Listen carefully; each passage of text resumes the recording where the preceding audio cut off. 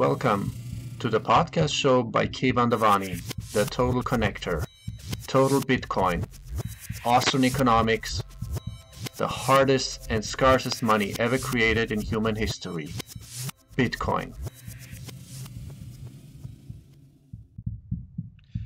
Thanks to the awesome team of Huddle Hodl who organized the Baltic Honey Badger Conference 2019 in Riga um, I had a you know in-depth uh, talk about the essence, principles, uh, vision, ethos, mi- uh, you know future evolution of Bitcoin, critical mass adoption, privacy, security, trade-offs, user interface, user experience, user friendliness, um, but a, a, spectrum of topics. Like, share, subscribe, uh, and and thank you so much for support. Let me know what you think. And again, thank you so much to the speakers and Bitcoiners and Bitcoin maximalists, Bitcoin realists. And yeah, I hope to do this again next year and in years to come. Thank you so much. Uh, Honey Badger Conference in Riga. It's so exciting. The sun's coming back. So let's go into medias res. Uh, Hass, um, what do you what do you take out of this conference so far? Um, the interactions, the conversations from yesterday till today. Uh, what are the misconceptions and what, what's what's the ultimate thing that people need to know out there about Bitcoin? Uh, that it's a hyperbolic statement I'm about to make. Uh, Bitcoin fixes everything. So uh, Bitcoin fixes this is a is a very strong meme, and uh, you know there is a lot of misconceptions not internally in the in the community. I uh, I'm loving being at this conference. My, you know, I'm I'm here with my people. Uh, and I, I, suppose that's why all Bitcoiners, uh, you know, love coming to these conferences because it's uh, it's quite rare to find uh, like-minded people that uh, don't dismiss uh, Bitcoin because they're too used to the the fiat drug. They love it. Right. So um, you know you're you're passionate. There, there's a reason. There's a you know there's a root cause why we are so passionate and so it goes beyond belief. It, it's it's it's understanding, and understanding means trust for me. We trust in Bitcoin, not because you know we, it's not a religion, it's not a dogma, it's not you know why why why is it that people still don't get it, and why is it that they don't feel yet the intuitive need to you know stack up on satoshis or Bitcoin yet? I think it's because. Uh it's very hard to unlearn things. Uh, so when you've been getting taught the same lesson all your life, and someone comes to you with a with a concept of Bitcoin, especially in the West, they say, you know, why do I why do I need this? Like, you know, my money is never going to hyperinflate. You know, I can trust my government, uh, and you know, all that's well and good until you can't trust your government anymore. And uh, history shows us uh, you know, that governments are only temporarily trustworthy and then they, they become a, a, a beast and an animal onto themselves. And, uh, you know, on your feet or on your knees, freedom is just one of these. And, uh, you know, if you, if you want your freedom and you want to empower yourself, uh, you know, Bitcoin is, uh, is one of the, one of your best tools to do that. Mm-hmm. And unfortunately, this is lost on a lot of Westerners that haven't had that uh, life experience uh, in you know living in the, living in the third world, uh, you know being a being a victim of hyperinflation, uh, being victims of censorship. Uh, so so that's why I think it's uh, you know it's difficult for you know the click moment just isn't there for a lot of Westerners. Mm-hmm. Exactly. And you see, this is what I'm saying. I mean, uh, the people in Venezuela, Turkey, Iran, Argentina, whatever inflation, hyperinflation, or censorship is happening, they feel the need, they feel the pain. But I think that's the ultimate challenge because they don't feel the pain over here in Western or in Western countries, like I'm from Austria or wherever. Uh, West, it, the, the, art of challenge is that um, how do you how do you make them understand what life, what the monetary, financial, economical, social life, or even scientific, technological evolution could be like in the few new, in the near future to come. Is, do you see that as a challenge? Like a huge challenge, yeah. uh, because uh, a lot of people just uh, just find it find it difficult to you know make make forward projections. Uh, like there were several experts, one Nobel Prize winning expert uh, that said you know the internet well, it's not even going to be like that good. One of many, huh? Yeah, one of one of many, many. So, a lot of people just don't have imagination. Uh, so, for example, like uh, the the best thing is the price volatility. So, Bitcoin's never going to work because it's too volatile. And basically, these people have zero imagination. Well, yeah, it's too volatile now, but that's that's the point. Like you know, it's not going to be, it's not going to become a stable reserve currency in three years. Uh, like things just have to play out, and you just have to kind of open your mind, uh, suspend your disbelief for a bit, and uh, you know, think of think of future scenarios. But uh, but a lot of people uh, just uh, look. People have kids to feed, lives to run. Uh, so like they, they don't ask themselves these Mm-hmm. big, you know, philosophical questions about, you know, freedom, hard money, the future, Mm-hmm. all of this kind of stuff. So, you know, a lot of people are, you know, in their zone. Uh, but you know, once you fall down that rabbit hole, Mm-hmm. the zone completely opens up. Exactly. So it's not only inspiration; it's really like on a comprehension level. It's uh, we need to pick up, I guess, different people on different angles, right? Perspective. So, so you, you talked about freedom. You know, I mean, is is the essence of, of, of Bitcoin freedom? Uh, definitely, not just freedom. Uh, for me, uh, the essence is the monetization of energy. Yeah. So I see basically uh, uh, Bitcoin as just like a big battery that stores wealth uh, in the in the form of in the form of energy. So uh, energy secures uh, Bitcoin. Energy uh, gives Bitcoin a lot of its a lot of its value. Uh, so don't get that mistaken with you know whatever a Bitcoin costs to mine is the price. Uh, the mining always follows whatever the, the market price is. Uh, but you know it's it's it's uh, energy. And that's why it's called hard or hardest, scarcest money. I think this is something. Explain this in your own words. So uh, you, you, in nature. So I'm a I'm a am a naturalist. Uh, uh, in nature, you can't create or destroy energy. You can you can only really transfer it. Uh, so effectively, uh, you know, Bitcoin, uh, the monetization of energy, uh, compliant with the with the laws of nature, and uh, typically speaking, uh, if you go against uh, nature, uh, you don't win, and uh, and that's that's where fiat uh, is uh, is currently running into a problem. Yeah. Uh, so they're creating effectively energy out of nothing by printing paper, and uh, you know you can have a dam, and you know the water level rises and it's about to break the dam. and, you know you can raise the dam a bit, but eventually the the river is going to win, and uh, your dam is going to collapse. Uh, so effectively, don't don't fight nature. And you know, for me, like Bitcoin is almost a perfect representation of nature uh, especially in, in its thermodynamic completeness. Energy can't be created or destroyed. Beautifully described.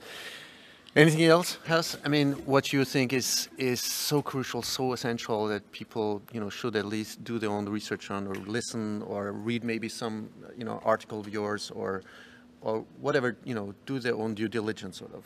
Um, It's uh, for me. Uh, you mentioned, you know, Bitcoin isn't a religion or a dogma or anything like that. No, for me, Bitcoin is a religion. Uh, it's and it's uh, it's very for me. It's uh, it's you know very spiritual and e- uh, ethical, logical, and ethical, And, and, and not just that. It's it's helped me uh, uh, free my mind. Uh, it. and uh, a lot of times you basically, uh, you know, as gimmicky as this sounds, is you just gotta uh, look inside yourself, trust your heart, listen to yourself, and uh, once you've listened to yourself, ask, start asking yourself the questions: Can I trust this person? Can I trust that person? Uh, is this really valuable? Uh, am I going down the correct path in my life? And all that kind of stuff. And uh, the answers to all these questions, when you look deep down in your heart, uh, is hard money. Wonderful, beautiful, beautiful. so poetic. okay, yeah, yeah, beautiful. So, where can people find you? Okay, so easiest way to find me is uh, is on Twitter at uh, at Hass McCook, and all of my all of my links to like my Medium pages, YouTube channel, all that kind of stuff. Uh, you can find it there. Uh, you know, feel free to contact me directly on uh, on Twitter. I love a love a good old chat about Bitcoin, and uh, and yeah, thanks uh, thanks very much. Uh, Thanks so for much, having Me on. To be continued. Oh yeah. The Total Connector says bye. Welcome to the Total Connect show. I'm here with Matt Odell, the legendary Matt Odell of the Tales of the Crypt. uh, with Marty Bent, right? Absolutely. So uh, you guys are doing great job. I mean, great educational job. The last interviews I, heard- I listened to also with Eric Voskuil Yeah, was that was a like was like amazing. Matt, I mean, let's just go into medi- medias race. Um, wh- wh- what's what's the thing that's uh, really right now at this critical juncture missing in the in the urgently necessary, you know, educational work and critical mass adoption of Bitcoin? I mean, where, where do you see the challenges, the obstacles, or what what could be done better? I mean, I, I don't know if we need anything like urgently. Um, I, you know, I think like Bitcoin is fine as it is right now, uh, and compared to where we were in, you know, two years ago, three years ago, um, we're in a lot better situation than uh, we were then. Uh, you know, my my two things that I've been focusing a lot on is privacy and Lightning. Um, I think Lightning really is going to help with privacy as well. Um, so with Lightning right now, it's not very user friendly, right? It's getting more user friendly every day. Um, I you know I recently did a, like a walkthrough video with the Breeze wallet. Um, that's a very user friendly experience, but it's you know they, they make a lot of trade-offs to make that happen. So it's you know it's going to be how do we balance those trade-offs? How do we make lightning as easy as possible? Um, so just like the average user can can basically get onboarded really quickly not know uh, that they're even really using lightning uh, you know from like fiat to, to, to lightning in, in a couple minutes. And there's there's a lot of there's a lot of good developments happening there You because there's a there's a lot of business opportunity for people to uh, if, if they can do it right, right? Like if a company can can get that process down, um, there's a lot of money to be made. So I'm like pretty optimistic uh, in in that respect. And in just in general, I think you know Lightning has progressed way way faster and and uh, better than I expected. I was like, I, me personally, I was like kind of a, a Lightning bear. Uh, you know, I, my the first time I really used Lightning was in January of this year, which is pretty crazy to think about especially as someone who's you know so involved in the space. Uh, even I am you know, relatively new to Lightning, so this next year, this next two years for Lightning should be should be huge. You know, in this uh, uh, back to this, you know, uh, hodling, and you you you you guys um, sort of um, uh, created this legendary meme of stacking sack, uh, staying humble, stacking sats. I mean, there's an essence to this uh, whole thing, right? I mean, because in this monetary evolution phase of store of value, um, what what I- what my wish, what my dream, a personal wish would be is that you know. Um, I know a lot of people. I'm, I'm helping them, whatever, with the hardware wallet, uh, Trezor. But even you know, after so many times, it's it's it's not. It ain't easy. You know, uh, like uh, whether they're 40 years, 60, 70 years old. After like 10th time, you know, I still have to explain to them what steps to take. You know, generate new address, like really Right. simple steps. My wish would be like a super, like simple, easy, user-friendly, intuitive package with you know a full node eventually. You know, the coin mixing, coin join, or whatever you call it. Do you see that coming, like plug and play uh, thing, where you just give it to them for Christmas and like, hey, there you go, you you know, you got the hardest and scarcest money now, stacking up. Yeah, I mean, I, I think, you know, like I said earlier, I think that there's a lot of business opportunity to make that happen. So we see, you know, we see companies like Casa who's like trying to create like a full stack uh, with with the node and the wallet and the multi-sig. You Do you think it's affordable? I'm sorry to interrupt. Is Well, it? you know, but Casa, what a Casa node's like three hundred dollars. Like it could, it could be, it's like a little bit underpowered, but they like they. But they have a subscription fee of three hundred dollars per year. No, no, no, no, no. The subscription fee is for the multi-sig. Um, So that, that's not necessarily ideal, but like then you also have stuff like Samurai. They're doing a full stack. Like the full stack makes a lot of sense, right? Where you sell a node, they're doing it with Nodl. They sell a node, they have an app. It's, it syncs to the app. They have the mixing built into it. Um, but I, the privacy elements will always be, I think, way more difficult. Like try and use the internet privately Yeah. is a very difficult thing. It's Yeah. not ever gonna. I don't know if that'll ever be user friendly. Um, you know, we'll see. I, that that'll always be the hardest the hardest part. But in terms of actually, you know, stacking Sats, securing the Sats, you know, operating it through your own full node, I think you know that gets easier every day. So so yeah, I'm, I'm pretty optim- I'm pretty optimistic about that. You know, I, I I'm currently involved with two companies. Uh, you know, full disclosure, I'm an advisor to both of them. You know, I get a little bit of equity. Uh, Give Bitcoin and BottlePay. Name it. Yeah, bottling. Yeah, Yeah. It's a great project. Yeah, and both of those, right? The idea is let's make that user process as simple as Yeah. possible, right? Let's make the gifting process as super, uh, you know, super easy, and uh, the actual using process super easy. And then the next step, right, is to try and graduate them to the Yeah. to the full nodes and and to understanding what the privacy trade-offs and risks are and stuff like that. And that'll always, I think that'll always be more complicated, but it gets, it does get way easier every day. Yeah.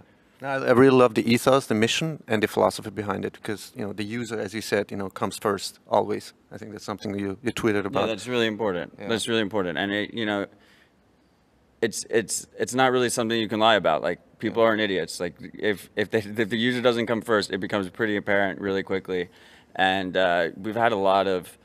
Uh, missteps, not Mm-hmm. me personally, but in this com- in this in this industry, we've had a lot of missteps where companies Yeah. have clearly not acted in users' best interest. So I, it's it's very I'm very optimistic that you know we're seeing so many companies emerging that are that are that seem to be operating with their users you know in mind and and out of good faith and not you know not malicious and not but they they want profit you know but that's good greed's good as long as they they're operating you know out of a good principle Now I know I don't want to you know play this predictive game, but still there's you know um, rough estimates of how many users or hodlers there are worldwide, like 50, 100 million. We don't I think know. it's less yeah. Really? How, Yeah. how much? I mean, how, It's just like a gut. I think like 30 million or something like Okay, that is okay. what I think. Okay, good. You know. Um, do you see like a critical, like a critical number that would uh, that would that would initiate trigger the the mass adoption, like really fast, a chain reaction? I mean, like, what's the population? The population is like seven and a half billion. Yeah, maybe even up to I don't know. So, 18 like- yeah, let's say seven billion. Yeah. Even if it if it's anywhere right now between 20 to 100 million, it's still a drop in the bucket, right? It doesn't really matter Yeah. What the what the actual number is Yeah. because there's no one. It's so small. Look at these conferences. When you come to these conferences, you know, we're right now we're in Riga. Um, it's a very small. It's still a very small industry. Yeah. uh, you know, a lot of a lot of you recognize faces all over the place Mm-hmm. and stuff like that. And and so yeah, I don't, I don't know what the critical mass is.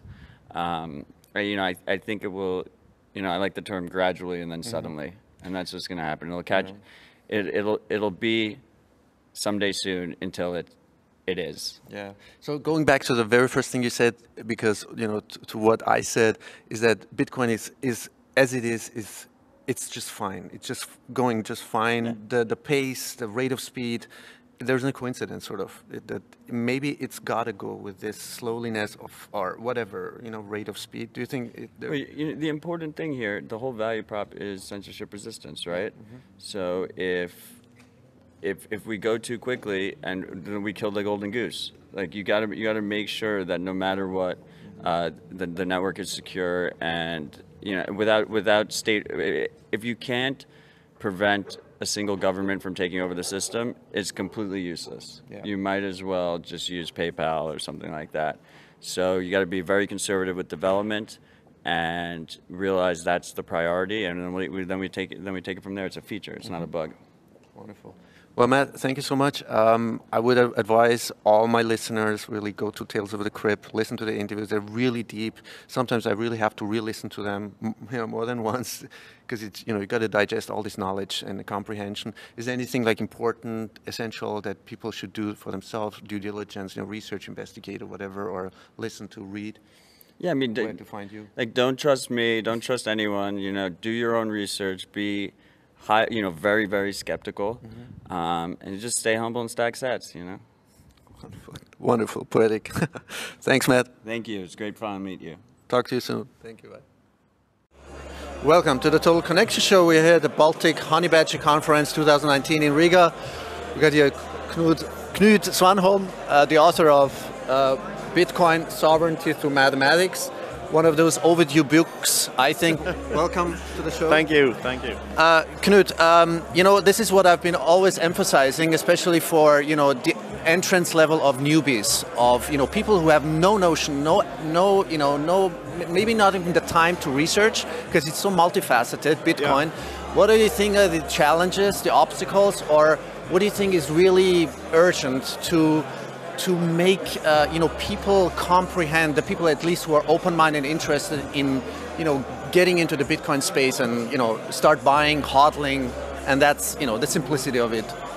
Uh, maybe I think people ought to think more about the uh, the current system and the flaws of the current system.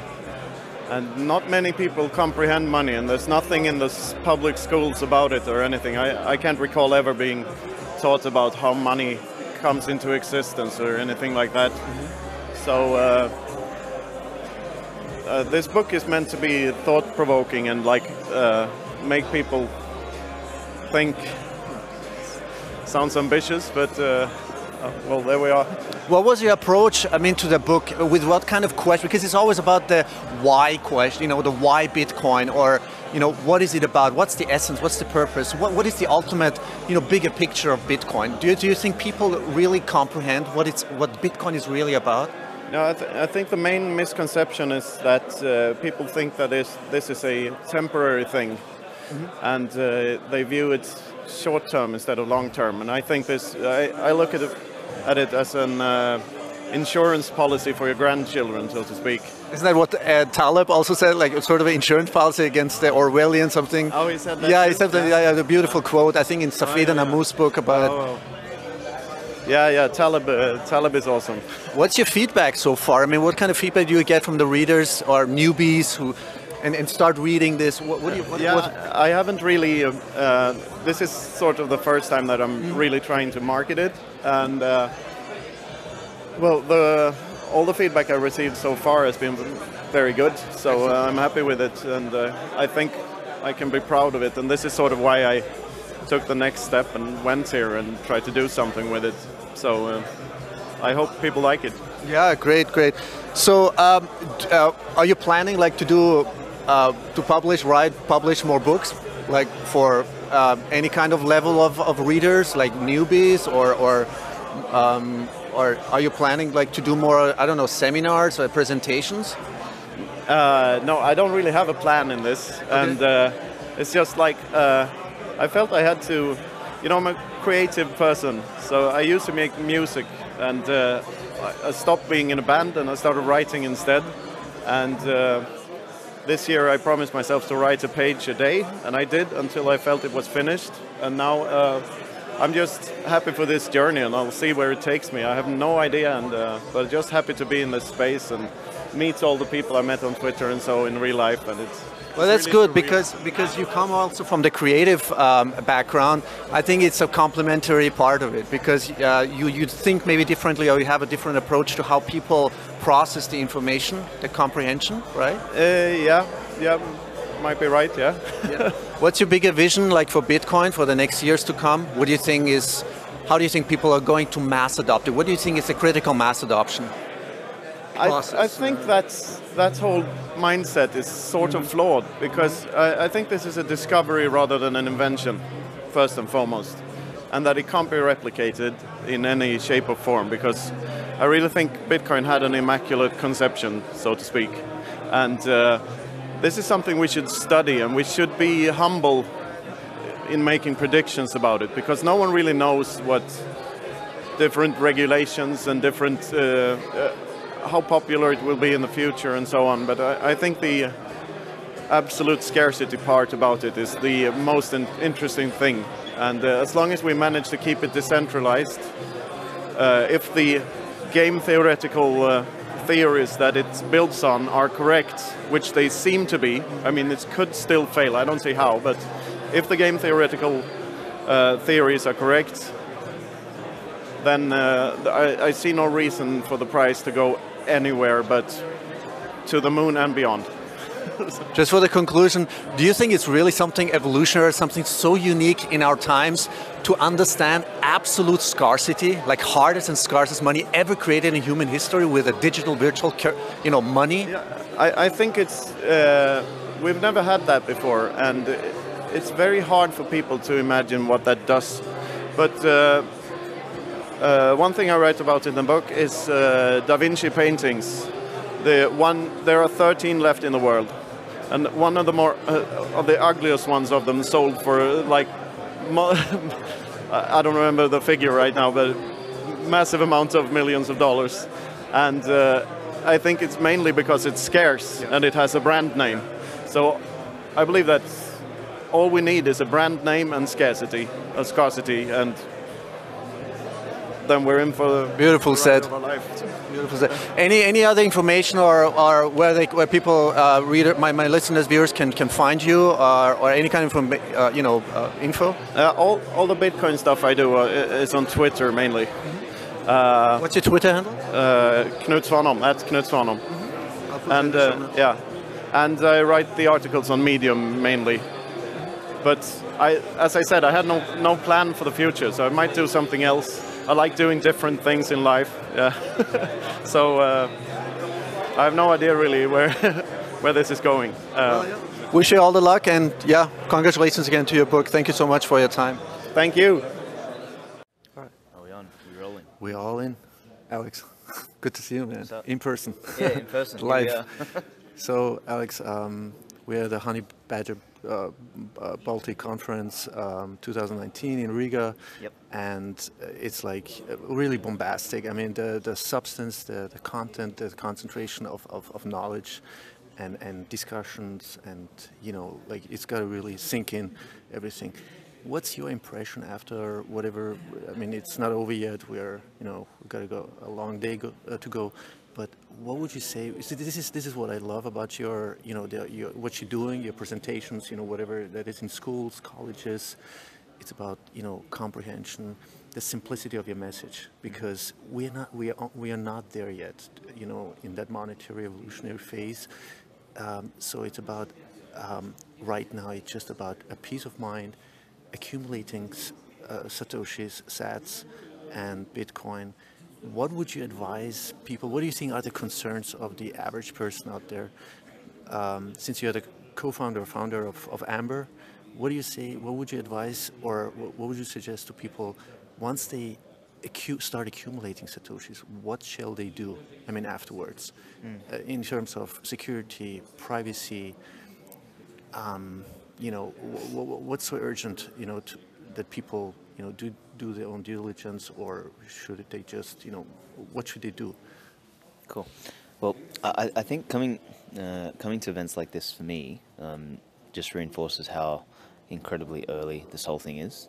Um, it really does. I mean, there's a there's what, what do we have here? 500 people, maybe 600 people. Like it, it's it's fuck all, um, and you know we're all in a room somewhere in Riga, um, freezing our asses off, um, you know, with the cold, and it's just you know, when, when I compare it against like you know conferences that I've been to in the banking space, which are you know well established, huge, you know, multi tens of millions of dollars spent on a conference and all that sort of stuff, um, you know, it, it just it just reinforces the idea that you know right now that the best game in town and what everybody should be doing is just getting some exposure to Bitcoin and just holding some right now. Because there is like wh- whilst we are still early like there is tangible real things happening here. Like the, the, the cohort here are people who um, believe in bitcoin who understand bitcoin relatively deeply um, and not just the speakers but also all the participants here. Um, or at least the majority of them. I've met a couple shitcoiners but um, other than that like pe people th- this is the stubborn minority right here.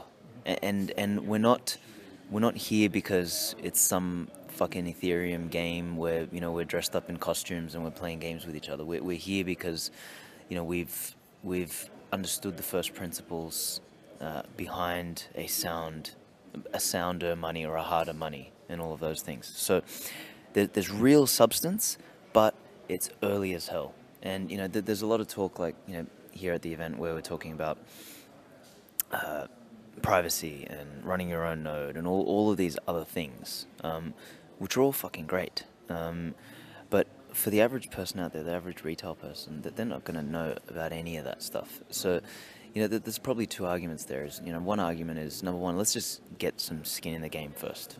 Let- Let's let's get them to hold some Bitcoin because you're not going to get them to think about privacy and sovereignty and all of those sorts of things from the beginning, right? Um, when people um, come from that angle, you know, they're more primed to jump straight into, you know, the, the deep end of Bitcoin already. But for most people, they're, they're, not primed. You know, the, the, the hook that we've got to bring them in on is, you know, the idea of a better future through, um, you know, being more financially free. Um, and you can be more financially free by looking at uh, buying some of this asset that is outperforming every, everything else. And I think that's that first hook. And that's at least what we're trying to do. And then the, the question is, once you've got them in, then which path do you guide them down? And and that's where, like, you know, I want to have a chat with Rodolfo from Coldcard to be able to, you know, Mm-hmm. provide our users with, hey, you know, you're, you're using Amber to stack sats, Mm-hmm. but now, you know, you've you've stacked some sats. Yeah. You know, you've got some Bitcoin now. H- how do you become sovereign? Um, and how do you, you know, like, I- I, don't With- really care too. ease of use. Yeah, correct, correct, that- correct, That's correct. the ultimate challenge.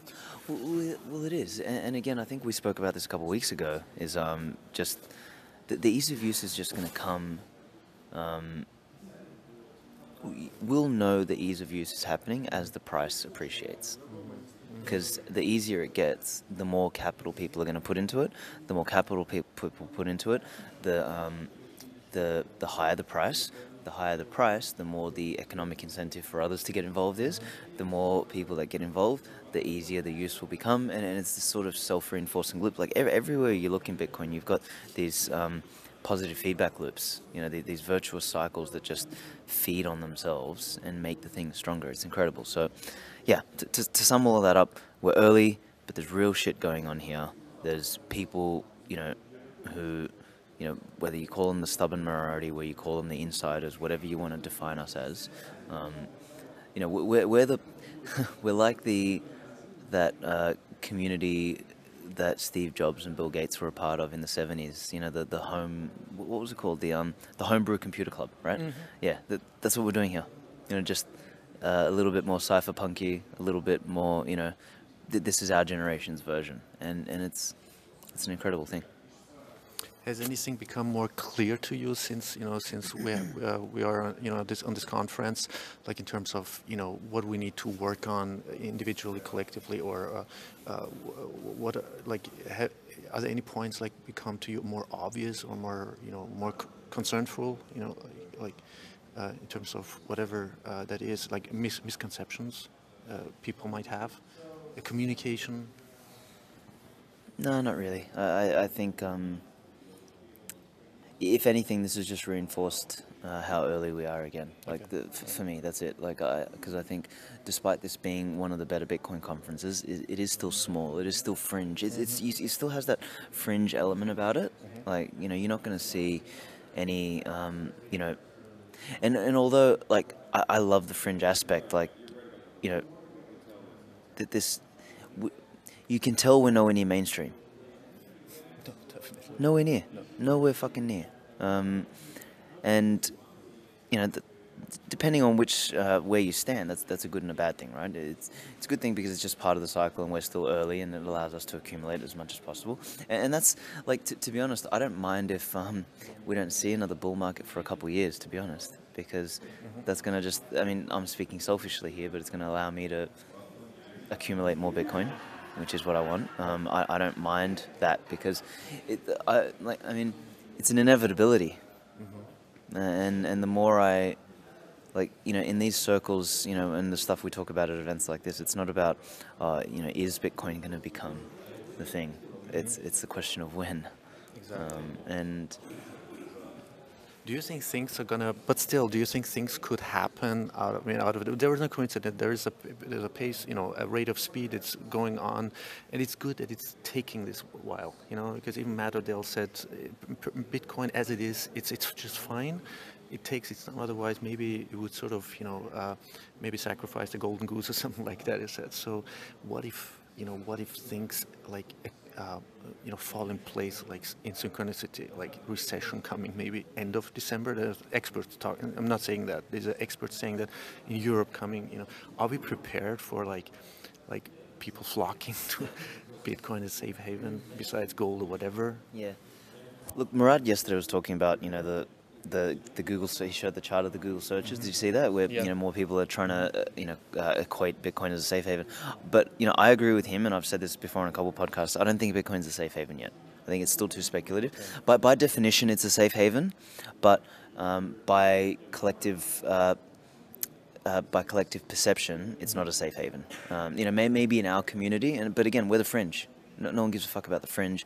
Um, w- when you think about the, um, the the global macro scene, like when people are shitting their pants and things are crashing, they, they're going to go to the fucking US dollar. It's as simple as that. It's still too early for that, so I, I don't see any of that um, changing. You know, but hey, I could be wrong. I don't know. That, you know, should should there be a a, a calamity um, from a financial macro um, standpoint, maybe that will drive capital to Bitcoin. I have no fucking idea. But I, I guess the important anecdote that I got from that is that the, the meme of Bitcoin as a safe haven is starting to like take hold. Okay. And, and, and that meme is going to become self fulfilling, right? J- just like the, the store of value meme before that, you know, the, the meme of funny internet, mon- like all like one, one of the most incredible things about this space is that you know we, we sort of bring memes to life over time, um, and it, and it's so it's so um, apt and it's so uh, it's so fitting for an internet money for you know memes to be the driver of um, you know people's understanding of what it is that um yeah like it's it's just it's, it's just perfect in that sense. So so I don't know you know whether things that are happening you know geopolitically and, and macroeconomically are going to to help accelerate this. They may or may not. I think Pierre said something really interesting today where he said that the pace of technological advancements probably outpaced um, adoption, which is an interesting thing because you know you look at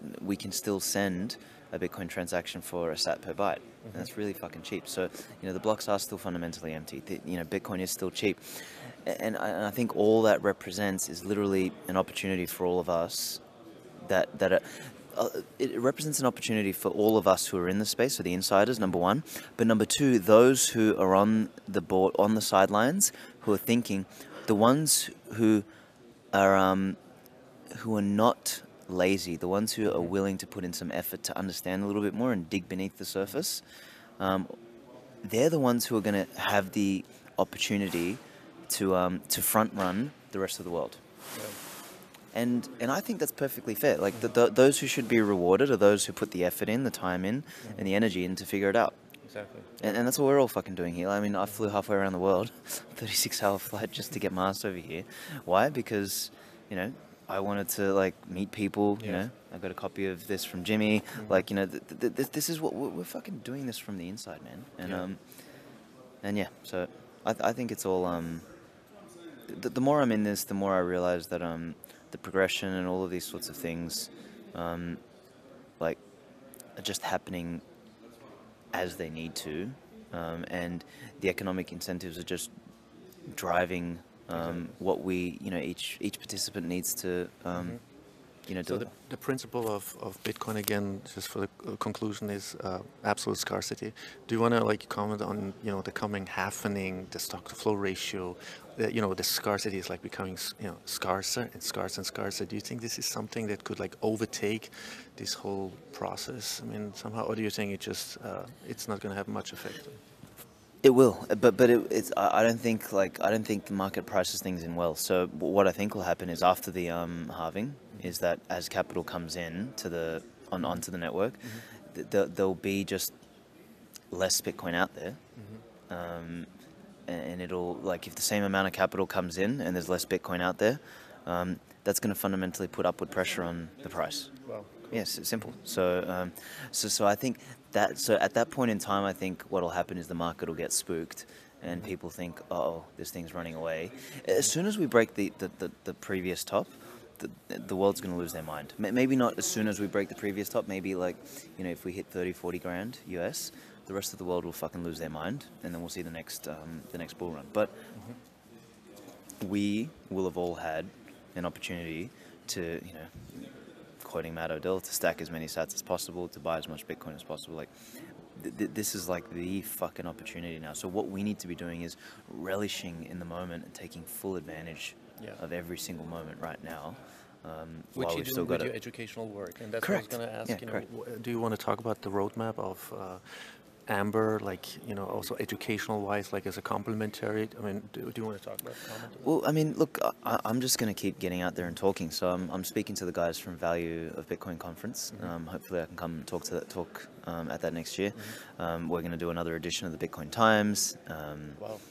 Uh, you know, edition number two. Um, we're probably also going to set the Bitcoin Times up for print. I'm writing a short book called The Guide to Investing in Bitcoin. So it's going to sort of take people through a, um, you know, a journey of you know why money is important, what it is, you know, why Bitcoin's a better money, the total addressable This market, and all this sort of stuff. Yeah. yeah. So, um, so if, if I can put that together, um, you know, we're going to do like a short copy and a longer form copy. The short copy we're going to sort of distribute around Australia as a um, as a tool for people to um, you know to, to to basically use that initial hook, right? Yeah. Th- th- this is an investment opportunity. Get people hooked in, and then really just bring them along the journey. So, um, I mean, th- that's like when I look at what our edge is as a business in this space is um, is the fact that you know I'm me and the team are willing to be balls deep in Bitcoin and go out there and actually produce content, teach people, and build a community and a cohort of people Yeah. who um who we've you know genuinely fucking helped them in a significant way in their lives. Like you know, I, I still like. W- w- one of the things that excites me is like when we first launched the, the, the beta of the product, like the really, really early, I would even call it an alpha product. We had about, you know, 50 or 100 users that were part of that. And some of those users, and, and that was literally when Bitcoin was three grand. Yeah, and those users were, were buying Bitcoin back then. And and they all fucking love us right now. See? They love us right Yeah. now. They're like, fucking Amber's the best decision I ever made, blah, blah, blah. They're up three, four, five hundred percent, whatever they are. Exactly, that's yeah, it, yeah. And and and they're out there then, you know, shilling people to say, look, download Amber, I got in at this point in time, and blah, blah, blah. So I, I can't wait to see, you know, the next couple thousand users and the next 10, 15, 20, 100,000 users who over the next three, four, five years Mm-hmm. are going to turn around and say, this was the best decision I made in my fucking life. Yeah. Um, and, and, and I think that is, um, that, that's a powerful place to come from. Yeah. So in the name of my listeners and viewers, thank you so much. Every time I, you know, I really enjoy it and learn so much, man. Thank you so much. Bye. Pleasure, man. Bye. Welcome to the Total Connect Show. We're at the Baltic Honey Badger Conference 2019 Riga. I got this legendary Giacomo Zucco. Thank you so much for taking your time. Thank you. It's an honor. Yeah. Listen, Giacomo, you have, you did a really, I mean, uh, mind-blowing presentation. I know the cynicism, the sarcasm is part of it, but there's a substance, there's a content you want to deliver. So, you know what I love about you? I mean, you, you really articulate, you express things that what Bitcoin is about. It's about freedom. And that's the one essence I really want, want you to talk about. Because, I mean, I know the, the title of the, your presentation today was the shitcoin apology, ap- apology, Apology, yeah. yeah. Can you, can you go a little bit into detail or um, what, what's, the, what's the bigger vision behind it? And uh, because I do, I do seriously think that it was really credible. You, you're really appreciative of the shitcoiner because it somehow serves the purpose of Bitcoin, directly or indirectly. You want to comment on it? It's yours. It's Yeah. yours. Thank you so much. In a way, there is like uh, always a balance that we have to keep uh, because uh, Bitcoin is freedom. So, Bitcoin is about the competition in the sector of money. Competition means that we cannot take anything for granted, we cannot stay with the state monopoly, and so uh, we start from a situation of uh, something uh, dictated top down, and we move the pendulum to another extreme, which can be an extreme of confusion, of uh, entropy, of, uh, uh, of lack of coordination. So on one side there is like slavery, on the other side there is chaos.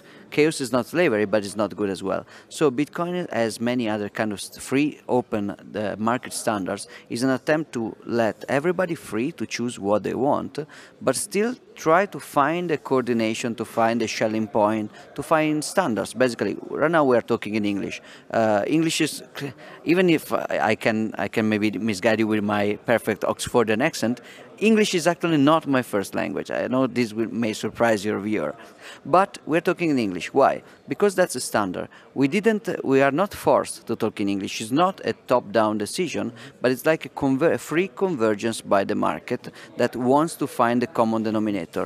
Uh, if anything, uh, imposition, violent imposition, were actually what is keeping national languages alive because many, nation, many nations decided to destroy local dialects and to impose languages, destroying either the local identities and the, the global uh, uh, attempt to find standards, uh, which human beings always trying to find. So in a way, uh, fiat dollar is violent monopoly uh, the shitcoin uh, world of fantasy is like chaos because it's a world in which nobody even tries to find a standard, something rational, something that can work at, at mass, at scale.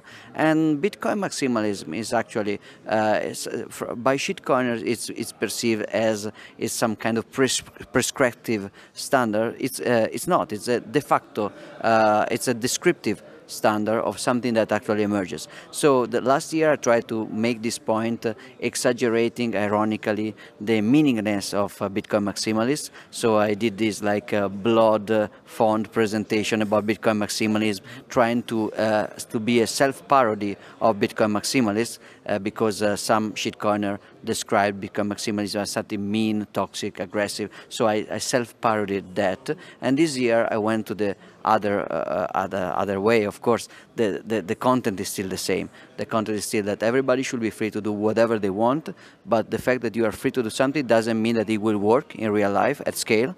Uh, so you should be free to experiment, but we should be all free to act, actually try to uh, prioritize experiments uh, in, in a way that makes sense to us based on our uh, scientific or, or ethical or other kind of convictions. So uh, shitcoiners are fine. They are not the final enemy of Bitcoin. The final enemy of Bitcoin is central banking and uh, and and, mean, and financial surveillance. So uh, shitcoiners, in a way, have been uh, altcoins in general have been targeted by Bitcoiners sometimes because they have been and they are a distraction, a, um, uh, a, possible distraction that can actually uh, ruin some kind of, uh, it can actually distract money, time, reputation of people that could be available. So let's imagine that you are in a war, you are in an actual, actual war with an enemy, and uh, some of you is organizing a real military action, and some of you uh, thinks that since the, they want to defeat the enemy with the magic rain dance,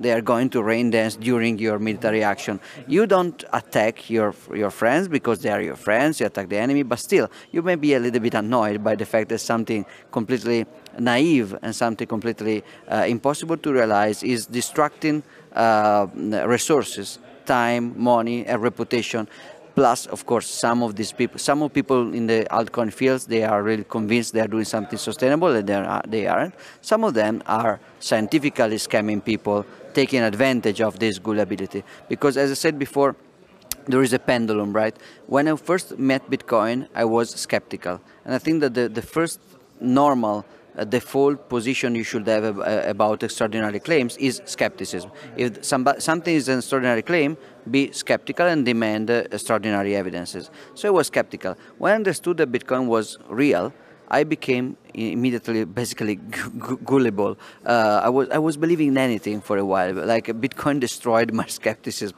and then I actually made an effort to recover uh, my skepticism to a position of some kind of equilibrium. And that's the situation in which we all are. And even my presentation tried to replicate that uh, from mean, evil, uh, toxic maximalist to uh, gentle, nice, uh, open-minded shitcoiner like myself today. okay. Um, okay, let me let me go a little bit. Let's zoom a little bit out. What do you think are the the essential um, misconceptions, or, or, is there a lack of ethos or foresightedness, a lack of foresight, lack of predict? You know, like uh, I'm like if just individuals, whether they're in the shitcoinery or wherever they are in no coinery, do you think they people just don't grasp the dimension, the potentials of what is possible with Bitcoin? Like if we talk about Austrian economics, Hoppe talked about the process of civilization, or you know Saifedean Ammous uh, comparing the gold standard and the you know the La Belle, La Belle Epoque Um, do you think we are somehow so much indoctrinated, brainwashed, that we don't get the bigger picture, what is possible with the structure, foundation, architecture of Bitcoin? What kind of civilization would be possible? I'm just trying to zoom out a little bit and, you know, that why Bitcoin? Yeah, I, I do think that uh, you mentioned Saifedean's presentation. Much of Saifedean's book and research is based on the concept of the, the very important concept in Austrian economics about time preference. So time and time preference. We are a civilization that lives in a, a very high time preference. We think about the present, so high preference is how much you prefer your pre present gain over your future gain and we even if we gone if we don't go too far but we think about our grandparents you, we can see a different civilization based on the notion of saving waiting, building a reputation, building knowledge, studying, building an enterprise, building something for the future is a typical, you know, the the, the ant and the, uh, the, the, the, fairy tale, right? You, you want to, to store, save, be cautious, be mindful of the future and to profit in the future. While we are moving more and more and probably we are the peak of a civilization based on not even just consumption, but debt and consumption. So we don't, uh, our grandfather to, to, to, to live in a house, our grandfather were most likely working, saving, buying or even building and then living debt free. We are mostly working, spending everything, uh, getting into debt to get even more and buying a house with that that will is completely unsustainable so this kind of uh, Uh, the interesting part of the analysis of Saifedean is that this kind of dynamic is related to money, very much related to money, in in in, a, in two different two ways basically, in a bidirectional way, because the way that central banks manage money today incentivize and increase uh, time preference in the population. And high time preference is also something that uh, in, turn increases uh, a, a, a, weird and, and, and unhealthy vision of money as something that should be uh, debt and never stored, always spent. It's, it's, it's very interesting that people blame capitalism for something like consumerism. So the fact that everybody is consuming, polluting, destroying the environment, over-consuming, over-debt, people blame that to capitalism. But that's the very negation of capitalism. People associate that with capitalism because it's something that is going very strong in the Western world uh, led by the US. So since that's the capitalist world, so consumerism must be capitalism. But that's the, is the other way around. Capitalism is actually the, the, the, the notion, the art of saving and investing to have something more later. Exactly. Which well, is exactly the opposite of Keynesianism. The opposite, which, yeah. the way, he was, he didn't even have a notion of capital theory. Precisely. It was not even a real economist. And the, the, the, what people calls, uh, calls uh, right now capitalism is actually uh, monetary socialism uh, as, as identified by Keynes. So US is not capitalism, it's monetary socialism. And Bitcoin is something that fixes that. Bitcoin solves that. Mm-hmm. Uh, you can see that in a way, this kind of cultural distortion in the altcoin and shitcoin fields as well. Uh, many shitcoiners, they actually cannot be a low time preference. When Satoshi is creating Bitcoin, he's creating something, for example, without getting any money. He's not doing ICO. He's doing something that is worth nothing. He's not asking for money. First, he codes. So first Satoshi finishes a working code. Then he writes an academic white papers. Then he starts to open up to the community. Then he starts mining, but without any advantage. He's also giving, he's using the, the, the time, the, the, the, London Times um, uh, page in order to prove that he had, hasn't any advantage. So uh, he's not want, he doesn't want a money grab. He doesn't want a quick buck. He wants to build something that maybe if Satoshi is still around, if he has private keys of the first mine of Bitcoin, maybe now he could be multi-billionaire. But now, not then. While the typical ICO shitcoin is some guys that say, I have an idea, I don't want to code it, I don't want to write about it, I just want your money, give me millions, then I buy my Lambos, and then maybe I start to work on the protocol. And that sadly doesn't work because that's not how human nature works. And the same goes for uh, security and features. Like Bitcoin is not about, uh, there's a new tech, unproven science fiction like, I want it now. But first we, went to, we want to experiment, we want to try, we want to test. So the evolution of Bitcoin development is what works in the long run, what is safe, what is experimented, what is battle tested. While shitcoins mostly are there is a new shiny thing, maybe developed by, maybe created by the Bitcoin developers. Bitcoin developers are too boring to use it now, so we want it immediately because we want a shiny, over-evolving things. We create something which is usually unsecure and uh, and and fast evolving, which is very bad for money you want fast evolution at the very upper layer of the economy, like services and, uh, and, and, products. You don't want, you, so society basically is, is, done in layer. At the very bottom layer, you have infrastructures, languages, protocols, something that you need to be uh, convergent, so the more similarities like English right now, mm-hmm. the better because we can communicate, and stable. The less it changes, the better. Like mm-hmm. internet must be stable and universal. Mm-hmm. Uh, on top, you, you get uh, some protocols that can have more variance and more evolution, and then at the very top you have uh, like my new service it must be it must evolve very rapidly and it must be different. So to, to make an example, if you if you play a Facebook game, one of the apps on top of Facebook like Candy Crusher game, uh, you expect to have many many different games competing and a fast evolution of gaming because you want new game.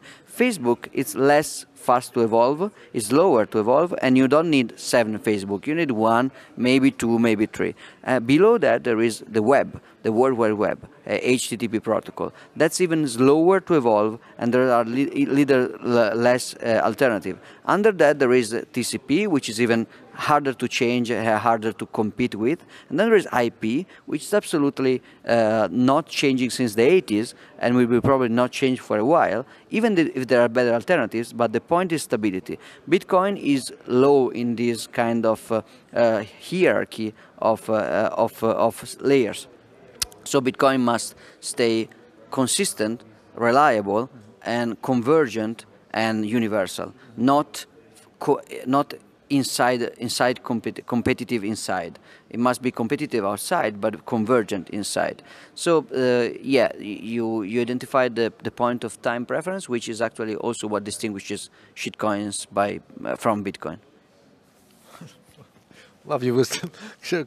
So um, see. Um, I think you always uh, always you know you go to countries like Venezuela, Turkey, Iran, Argentina. You know they got they they feel the pain, and this is what I'm saying. Could this be like the crucial challenge, the art of challenge, like making people understand, even though they don't like people. I'm, I mean, live in Austria, you know, in Europe or other Western countries. People don't feel the pain. They don't feel the existential. They don't see. They don't feel it. So why should they care about Bitcoin? Now if things fall in place in synchronicity, simultaneous or whatever, like converging, you know, like like everything fall in place, geopolitical, macroeconomic, do you see things like uh, triggering a chain reaction of you know perception, changing of perception, and then people are waking up like, oh, now I get it, you know, the yeah. rate of speed, you know, like. Yeah, again, it's very difficult to learn. Uh, so again, it's about time preference. Uh, you don't care about the future problem. Mm-hmm. You mostly society now, especially in the Western countries, they only care about present problems. So it's difficult to to make people change their habits because of something that is realistic but future. So uh, in in Argentina or Venezuela, you have people with problems now. Even just in China to export capital or whatever, you need you have people with problems now. In in Austria, you, if you have a credit card and the euro seems stable enough, over maybe I mean the dollar is not stable. No. Now they say stable coin for, for dollar coins. I mean not stable. It, lost, it have lost 98 percent of uh, purchasing power. I mean it's that's not stability, but it's uh, short term stable. It's long term unstable, but short term stable. So in the short run, you don't have a problem. Uh, the point is that uh, you realize that you have a problem when it's uh, uh, arguably too late. Like people in Cyprus, when they realized they couldn't access uh, ATM's machine anymore, yeah. yeah. So bail-in in Cyprus or the, the, the second crisis in Greece, one day you, you wake up and you see that you cannot access the money from your bank account. It's gone yeah, uh, or it's not gone, but you cannot access it for weeks. And you have to buy medicines, and there is no government that you can write to. There's no, you have to buy medicines, you don't have your money. that's something that uh, people could, thought it could just happen in subtropical, uh, strange uh, dictatorships. It happened in Europe, in, maybe in the periphery of Europe, but that's not something that cannot happen. And so another perspective problem, looking at the short run, is that we think that something like that cannot happen in France, in Italy, in Austria, or in the United States of America. But that did happen. That stuff like that did happen at the heart of Europe uh, with Germany and the Republic of Weimar. Is that, I mean, hyperinflation is a tale from Zimbabwe. Sure, we can make fun of Zimbabwe uh, because it's so far and yeah. so different. But mm -hmm. the heart of Europe had an hyperinflation crisis just uh, when our grandpa grandparents were, were alive. So not like in the in the history of in the in uh, in the history of few generations before us, and that's can basically happen again and there are very few scenarios in which that doesn't happen again so the point is how to make people ready before they need it because when they need it it will be arguably too late i mean they can adapt but they will suffer a lot they will learn through sufferance it's better to learn through uh, through, mm, I mean, through knowledge than to learn through sufferance. But it's very difficult.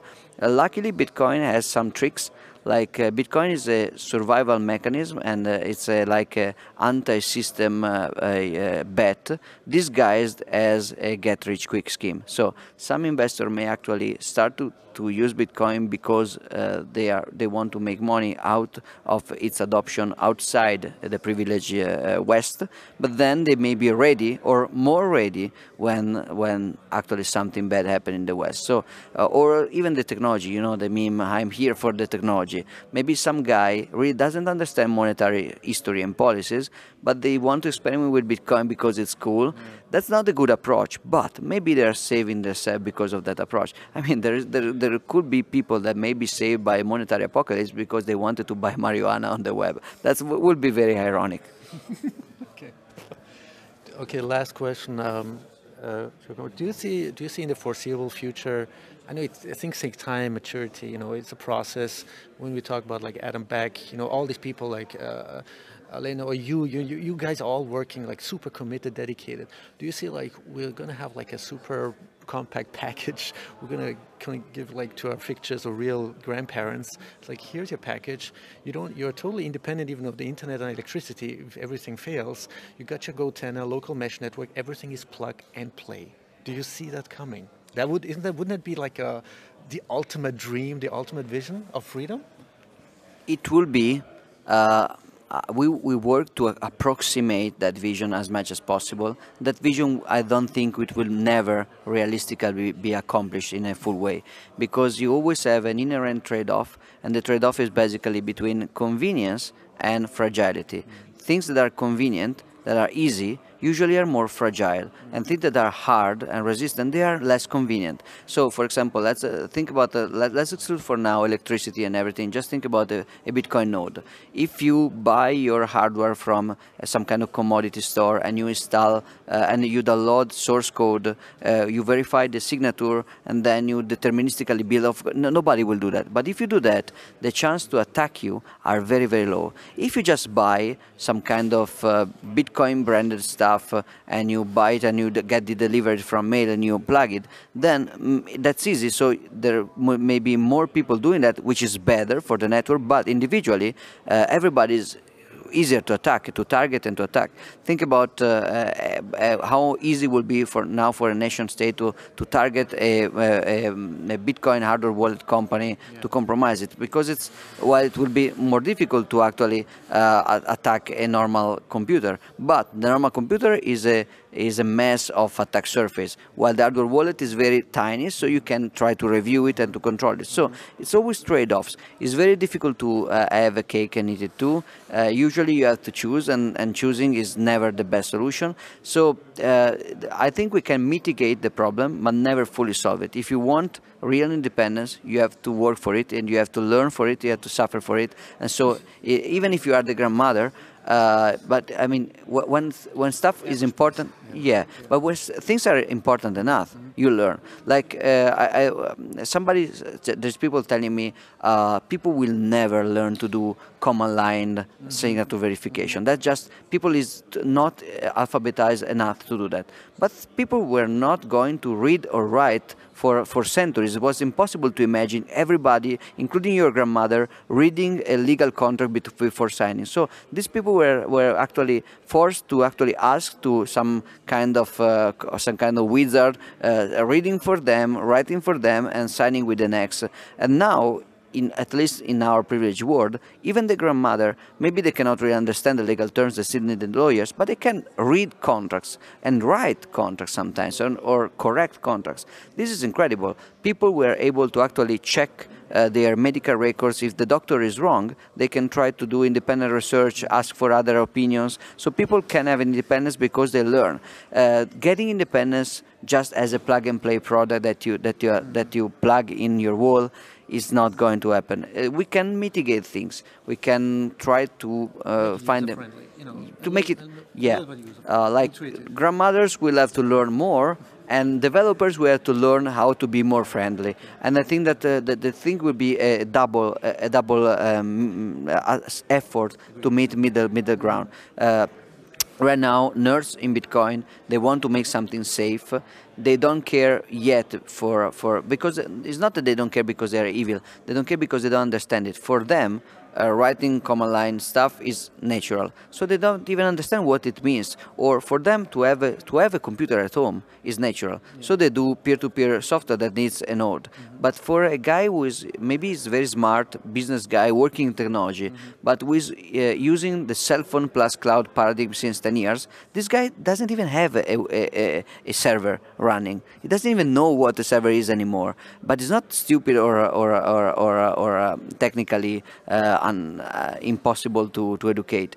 So there will be a double effort, but this effort, I mean, many people right now think that this effort will be unilateral, uh, uni, uh, unilateral uh, from the developer. Mm-hmm.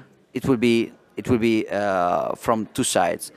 Users will have to become way and way more uh, evolved and way more sophisticated. And that happens when there is need. Uh, again, people were, use, uh, were able to fix a, a, car if the car breaks in the road. Now not anymore because everything is electronic, but back then uh, our grandfathers may fix a car. Uh, is that specialized knowledge? Sure. Uh, is going everybody to become a specialized mechanic? No. But just enough, just just what you need to be sure that the mechanic is not uh, is not messing around with you at least. All right. Well. Anyway, uh, Giacomo, you know, I don't want to sound kitsch, but really, thank you for all your work. You guys, I mean, you're a super small minority of, you know, people of, you know, dedicated technologies, programmers, coders, developers, UX, UI designers, you know, Bitcoiners, Bitcoin maximalists, Bitcoin realists. It's it's really, I think, we maybe a lot of people take it for granted, but but really, thank you for all your work, ethos, and because if it weren't up to you guys, we wouldn't evolve. I mean, we're talking about like civilizational, you know, human human civilization that is evolving. You know, otherwise, uh, we're just we're just probably just changing symptoms. So I think we need to. It's about like you know transforming or processing the roots of this system, right, of this civilization. So anyway, thank you so much for your dedication and commitment, and hope to you know, uh, yeah, uh, get in touch with you again. Thank you so much. it will be my pleasure. I want to, I mean, not, not to sound uh, overly humble, but I think that the individual contribution is less and less important. Uh, of course, as in any movement or system, I mean, without Satoshi Nakamoto, we will be in big trouble. Exactly. Uh, right now, without me, probably the, the, other will fill the place. So the uh, individual contribution is getting still important. Mm -hmm. Now, it's, still, it's not that the market will fix it. You are the market. You have to fix it. So we still have to take uh, this stuff in our hands and to and to make it work. Mm -hmm. But fortunately, nobody of us is replaceable anymore. Otherwise, we will be a target. So that's good. Thank you so much, Guillermo. Talk to you soon. Yeah, there we are. Welcome to the Total Connector Show. Um, Thank you. Peter, uh, it's great meeting you. Can you can you introduce yourself a little bit? You're a co-founder of uh, Bottle. Yes. And um, I had a great time with you, by the way, since last uh, evening, because we have so much co in common. You know, from uh, starting with the ethos and a philosophy and, and, and mission, and you know the whole essence of Bitcoin. Um, yeah, you want to tell a little bit the audience a little bit about yourself? Sure. So, Thank you so much. so I've, I first, I think for me, Bitcoin has been a journey in the sense that maybe for half of my life I've been looking into alternative information. I started to question certain things, the financial system. I did a philosophy degree, so I enjoy analyzing and discussing various concepts. And for me, arriving at the point where I'm working full time with Bitcoin and we've co founded a, a brand and a company just makes total sense in the sense that for me, Bitcoin is a, is a is a lifestyle, and it's what we're doing is putting this technology into the hands of more people.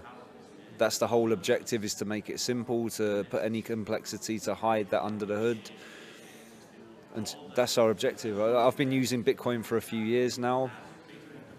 I still, when I have to copy and paste a, a wallet address, I still get nervous. I still worry about making an error. I still think to myself, how uh, how is the everyday person going to interact with this technology? Are they not going to be concerned? This is the idea of being completely responsible for your own funds, being your own bank, is a great ideal. But I think that in the short term, we're in 2019, the, the second half of 2019. I don't think that the average person who's never interacted with Bitcoin at this point is ready to take full responsibility for their funds, which is why we've decided to be custodial and we're concentrating on the on the user experience. We're trying to make it intuitive, incredibly simple, a pleasure to use, and the point is to make it a pleasure and to make sure that the average person can understand it and wants to interact with this technology. So that, that's the stage we're at at the moment. Yeah. Um, well, as I said, you know, as we talked before, um, I really loved the, uh, you know, what Matt Odell, uh, one of your new team, team members, said on, on Twitter that, hey, uh, you know, the user comes first always, and it's it's it's it's not easy to be honest with. You. I mean, the, way I see it, it's not easy. I think to empathize, especially from perspective of the Yes. developers, uh, coders, programmers, whatever, all these, you know, entrepreneurs. It's like putting yourself into the shoes of a really average, non inexperienced, non-technical user who, on top of that, doesn't even know why he's, why he should be doing this. He just wants to do, you know, he just wants to maybe get get his or his or her skin in the game. Yes, Absolutely. so, what's the bigger picture? What, is there a bigger vision to it? What, what's your roadmap? Uh, if you want to, if you if you you know feel feel free to disclose it. I mean, Yeah, sure. So we're integrating layer one, which means that people can. Our, our primary market at this stage is Bitcoin users. So people who are already interacting with this technology and already holding Bitcoin. So it makes sense to have a layer one integration so that people can transfer their Bitcoin into the bottle bottle pay wallet in a in a very seamless way. And we've got the social linking technology which enables us to create a lightning wallet attached to a particular social account. And the whole concept of this is to put the technology into a familiar context for people. People are already using social media, people are already using chat apps such as Telegram. So the point of it all is is to make it seamless and to make it familiar for people. So we have a number of announcements coming up. We're announcing a seed funding round that we're closing in the very near future. We have the mobile app in development, which is due in time for our Berlin conference, the Lightning conference in Berlin in, in mid October. And we have developer tools that we're creating that will enable the community to build on our tech stack and create beautiful we can't even imagine what that would evolve into. And that's one of the beauties of this technology is that it's completely unpredictable it's not completely unpredictable but we're we're happy to let it evolve on its own and we're happy to just guide the process and let it have a life of its own without trying to control it too closely. So that's the overall objective is the hyper bitcoinization that people talk about and the mass adoption that can only come with seamless user experience and it can only come with making the, the whole technology a pleasure to interact with with at the moment. We need to be aware that there's a lot of a perception of this asset class as being risky.